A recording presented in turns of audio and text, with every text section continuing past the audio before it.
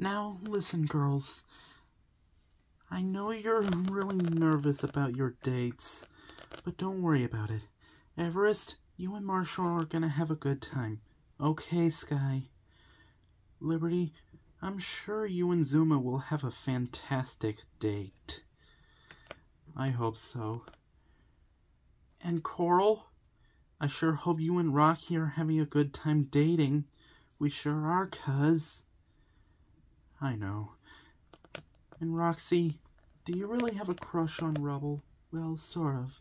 Well, you might want to tell him someday, okay? Okay, Skye. Well, I gotta go on my date with Chase. See you girls later. Okay, Skye. See ya. Well, I wonder when he... Oh, here he comes. Hi, Skye.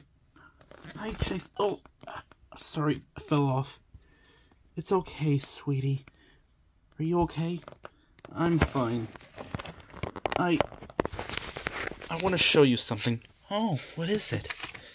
Well, I wanted to show you this. Why, that's you and me in our co- in my copter.